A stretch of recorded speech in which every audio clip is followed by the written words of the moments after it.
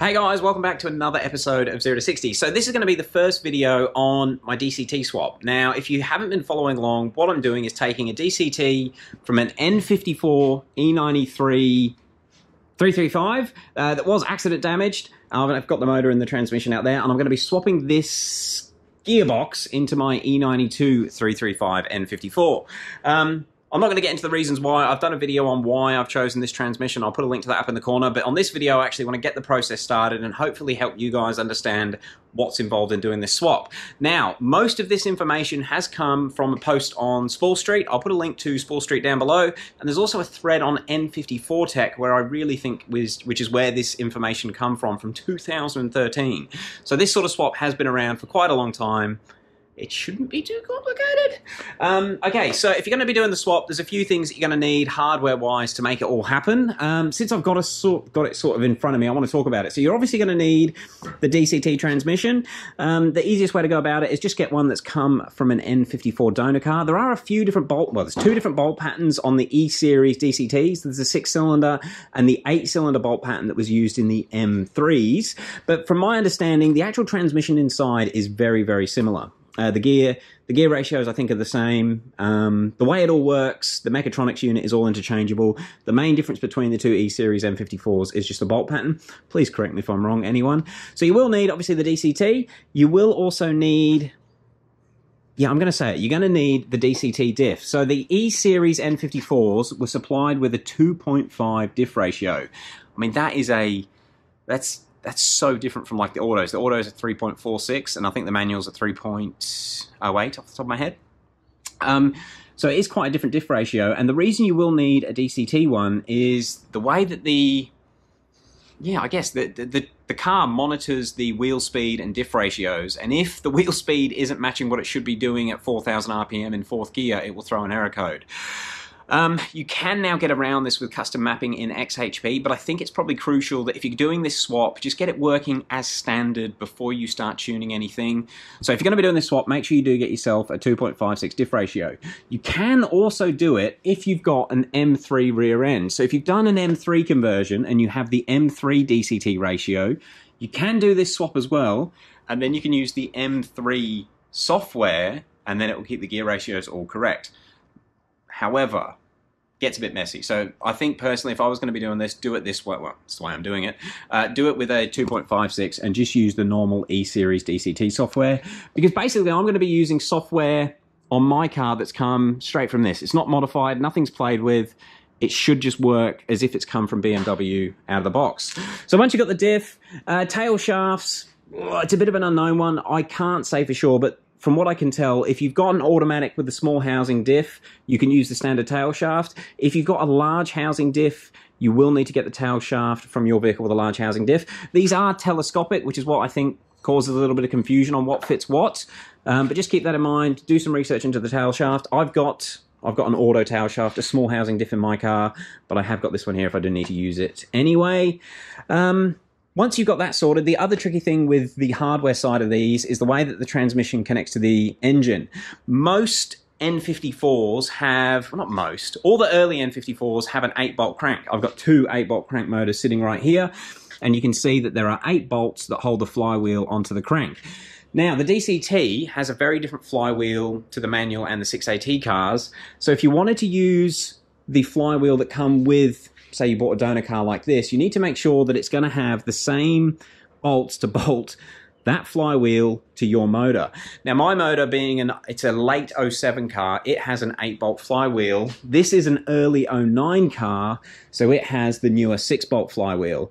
Now I could obviously just drop that motor into my car, but it seems a bit silly taking the motor out of mine when it's all working. So what I've gone for is an M Factory 8 bolt DCT flywheel. You can get an 8 bolt DCT flywheel direct from BMW. From what I understand, there were a very, very small number of cars in late 2008 that still had an 8 bolt flywheel and a DCT. So there is a BMW part number for an 8 bolt dual mass flywheel, but they're quite expensive and pretty hard to come by. As far as I'm aware, you can't actually buy one from BMW worldwide right now. The stock's about two or three months away, and in Australian dollars, it's about 800, sorry, 1800 dollars to get that flywheel. So it's, it's a lot of money. This one is made by M Factory. Now these weren't really originally conceived for DCT swaps, but I feel like that's what most people end up buying them for. Um, these are a single mass flywheel and they're about half the weight of the original flywheel. Um, and even just that weight saving makes a big difference on performance. But the issue that people are encountering, and I think the main reason these actually got made about two or three years ago, the dual mass flywheels, as they get a bit of age on them, if you're not familiar, a dual mass flywheel I mean, it looks very similar to that, but it's a lot thicker, and it's basically got two metal masses, dual mass, that interlink with each other, and then they have a dampener. Yeah, it's it's like a vis, it's like a viscous dampener between the two bits of metal, so that as the engine puts force into the gearbox, that dampener has to tension up, and it sort of it absorbs any yeah, it absorbs like clunkiness and it just makes everything feel really smooth. That's why most cars come standard, most manual cars come standard with a dual mass flywheel. It just smooths the drivetrain out. The problem is, as they get a bit older, the dampening starts to die, and when you wind the power up, the two bits of metal in the flywheel will actually bang on each other and cause false knock. So these sort of sprung up on the market two or three years ago to avoid that issue with false knock on a high power DCT car, and they certainly do the job for that. That's I guess another part of the reason I went for this, not just price, but it's going to make sure I don't have any issues with false knock. Again, I could have used this engine, but because this DCT has, I think it's about 190,000 Ks on it, I really don't know the condition of the dual mass flywheel in there, and when I start winding the power up, I might run into issues. The downside of the single mass flywheels, while we're talking about them, is they will cause chatter. Like a single mass flywheel will in a manual car, I'm sure you've heard it like a, a racing manual car in the pits at times, and it's chattering along with the gearbox. That can be the same issue with this. I've tried to find as many videos as I can showing the chatter. And to be honest, the videos I've seen, they're not too bad. However, I am aware of people that have removed them from the car. So they bought these as an upgrade and absolutely hated the amount of noise they've made and gone back to the factory flywheel. We're going to see how it is. It was really the best option I had for what I want to do with the car. So if it makes a bit of noise, we'll worry about it down the track. Or I might end up buying one of those genuine dual mass 8 bolt flywheels. We'll see how we go no stress. Uh, the way they work, it basically bolts onto the flywheel there. Oh, sorry, bolts onto the clank, the crank with the eight bolts, and then this little section then bolts onto the flywheel, and that spline joins up with the input shaft on the DCT. Simple little process. Keen to see how it all works out. Uh, I have also got, while I'm standing here, just something else I'm going to do while the gearbox is out. Obviously, got DCT fluid. I'm going to go with the Penrite fluid. I've used the Penrite transmission fluid in my 6AT. That car's making over 600 wheel horsepower. The Penrite BMV, which is for the ZF transmissions, works quite well. And this is supposed to be absolutely fine with the ZF DCTs. We'll see how it goes. Again, it's untested. I don't know anyone that's running the Penrite with the DCT. We'll see if I have any problems, any clutch slip, etc., etc. Also got an aftermarket filter. This is the main pan filter in the DCT. It sits at the bottom of the box, and that is the pan gasket just there. And then we've got the side filter. I'm calling it the side filter. God knows what it actually is. But it goes into that little section right there. So I've got a bit of a service to be done on this before it goes in the car. My mate that works at BMW, he said a lot of the warranty work that they did on these DCT transmissions was actually due to this O-ring failing up on the me Mechatronic sleeve. So I have ordered direct from BMW for like 40 bucks an O-ring. I'm going to be really annoyed if it's just a generic universal O-ring. But we've got an O-ring coming for that sleeve there. And I thought while the transmission is out, considering I bet this thing's never been taken apart, I bet it's never been serviced, I'm going to do the gasket on the Mechatronics pan, which is this side pan, because obviously you cannot do that gasket once it's in the car, just in case any of this weeping is from that. Just a few things to note. Make sure you get it serviced before you throw it in. Okay, that is the main hardware covered. Where it gets a little bit more technical is other bits and pieces that you need to make the car work with the DCT. So, first things first, and hopefully you saw the video that I did the other day, you will need an MSD81 ECU. They actually come out, I've got the dates here so I don't get it wrong. Third month 2008, all N54s should be equipped with an MSD81. So you're only going to need the MSD81 if yours was made before March 2008. Mine being manufactured late 2007 means I did need to do the MSD81 upgrade, which I did successfully do, and I'll put a link to the MSD81 upgrade in the corner, whichever one it is, if you want to check that out, because I've only just finished that. So the other thing you will need is a DSC pump. Now the DSC pump that's compatible with the DCTs was actually fitted from September 2008 onwards. So you'll only need to change the DSC pump if your car is manufactured before September 2008. Again, mine falls into that, so we will be changing the DCT pump. And I do have, sorry, D DSC pump. Uh, I've actually got the DSC pump out of this and another parts car that will do the job. So we're good to go there. The other thing connected to the DSC pump is the DSC sensor. Under the driver's seat, there is a, it's like a, it's a G sensor really, and it's how the car picks up the yaw. That sensor, again, it's from September 08 onwards. You will need to replace that if you're going for the DCT. The reason the DSC pump and the DSC sensor need to be changed for the DCT is they run custom software yeah, it's custom software on the DSC system or the traction control system to suit the DCT. Obviously, it will use different algorithms to control slides and power and all that sort of stuff. So you need to make sure that you can run software on the DSC pump that's compatible with the DCT. That's where it comes in. September 09 is the changeover for the DSC stuff. Lastly, and it's one of the things that I don't need to do on my car, is the JBE module. It turns out that if yours was manufactured after September 07, your JBE module will, will be compatible with a DCT. Pre 2000, pre September 07's, the JBE module won't actually talk to the DCT transmission and you will need to upgrade it. Um, I'm going to gloss over that because I don't need to upgrade it, but just something to keep in mind if you're pre September 07, you will need a JBE module. Now, once you've got the MSD81, the DSC pump, and a JBE module that's compatible with your DCT, or the new DCT, the other things you're going to need are the shifter or gear selector.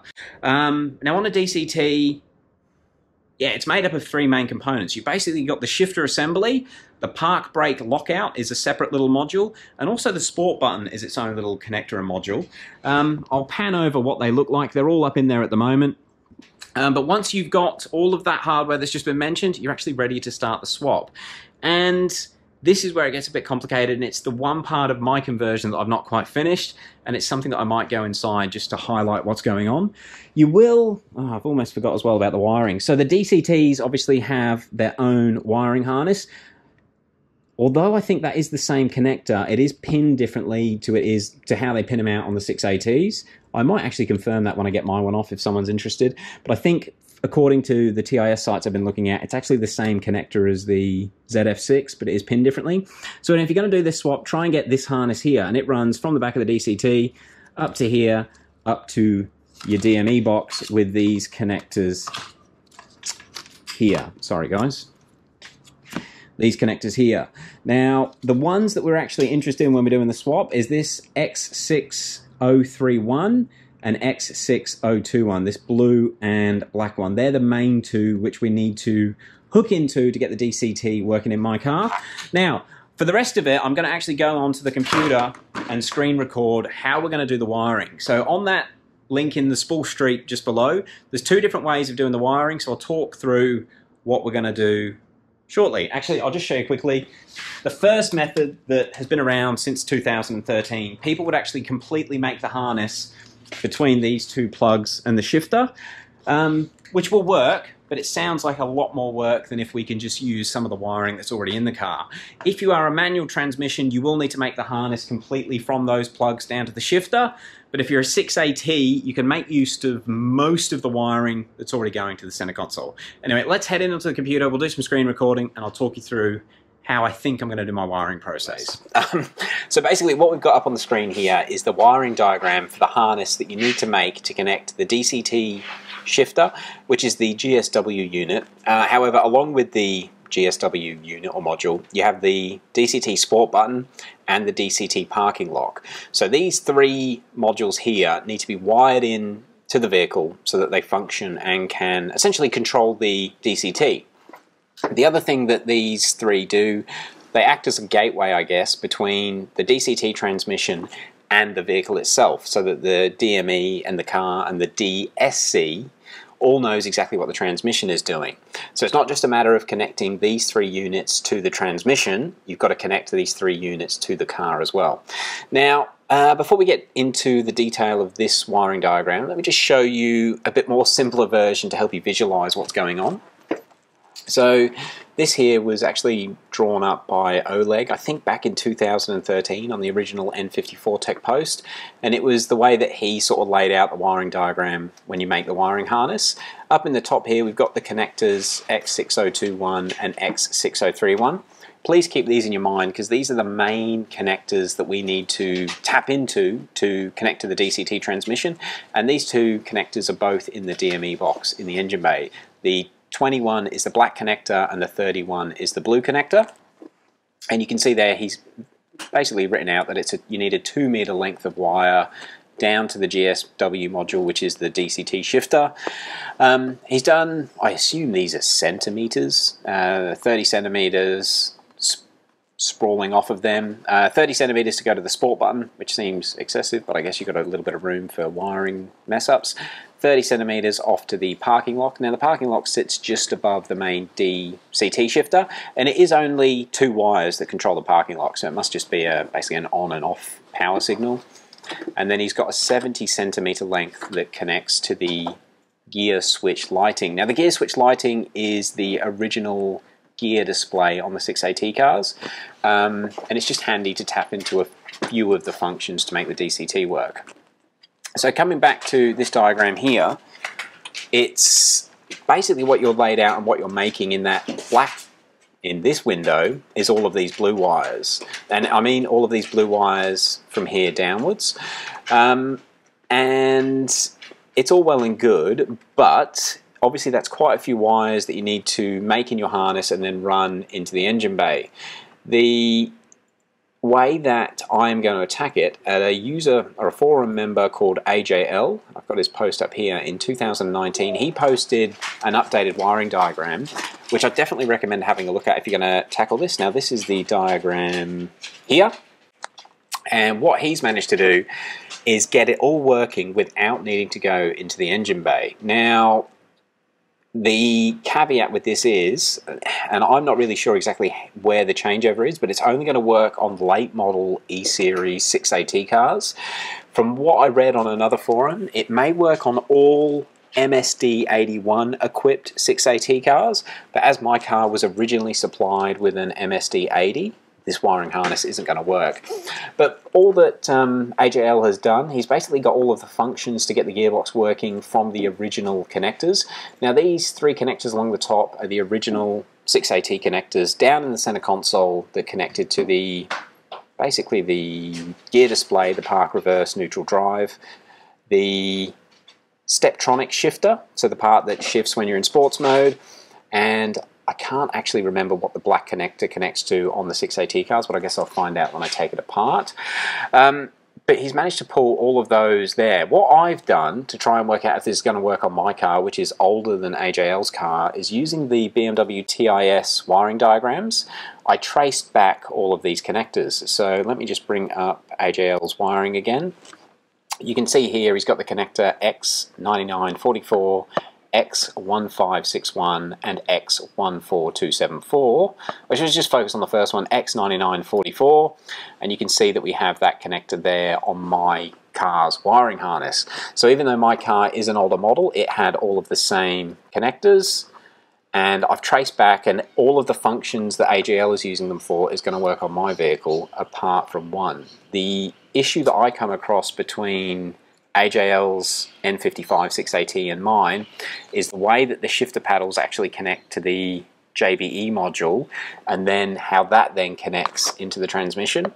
So the shifter or the shift up and down signals on the original DCT wiring harness are in this connector here, X6021, and they're pin number 11 and 12, and they're these two blue wires here.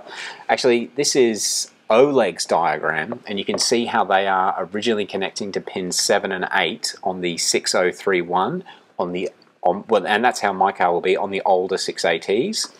Oleg actually just mentions repinning them into this location. However, obviously my car doesn't have on the on the vehicle side, on the cabin side of 6021, I don't have any wires in that position.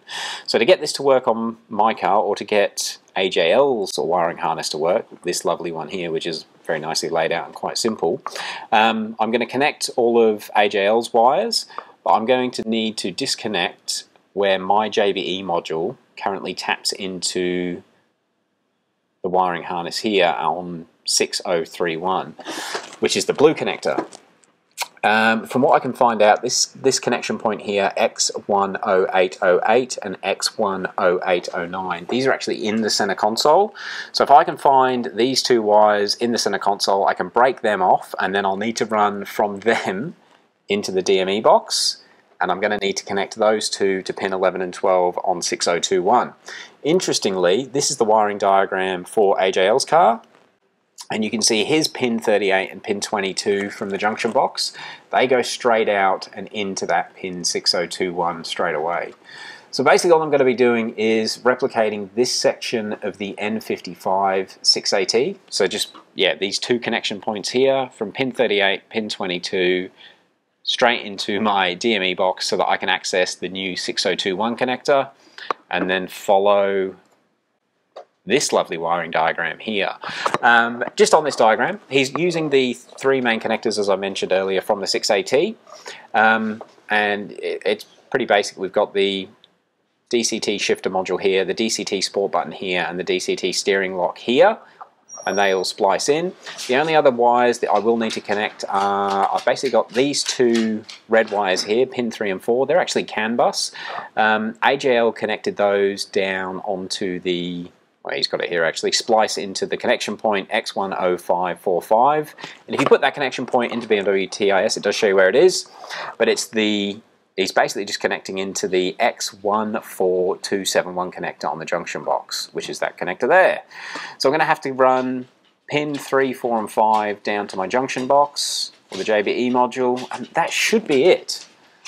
Yeah, with those three connectors now connected to these three connectors using this wiring diagram, these three wires connected to these three points on my JBE module, and then pin 38 and pin 22 on my JBE module turned from this configuration into the later configuration, I'm only going to have to run two wires into the DME box in the engine bay.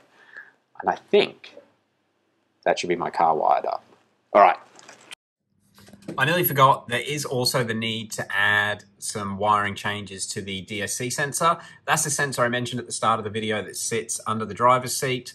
Um, the actual DSC unit itself is completely plug and play when you use the newer version. So you don't need to do any wiring changes in the engine bay, but you do need to change the wiring that goes to the sensor under the seat. I will touch on that when I actually get to the video of installing it.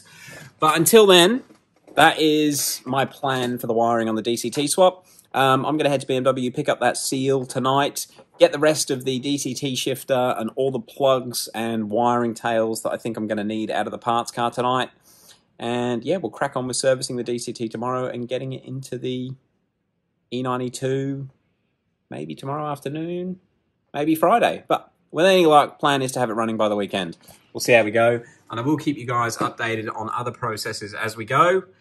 Um, yeah, but until then, thanks for watching. We'll catch you on the next one.